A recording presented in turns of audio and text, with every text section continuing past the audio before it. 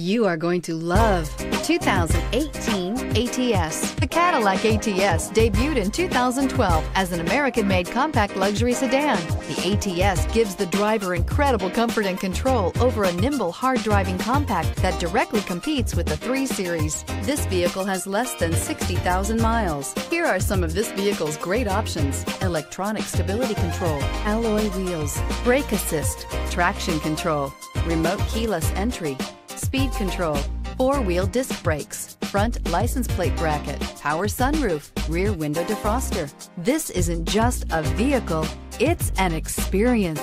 So stop in for a test drive today.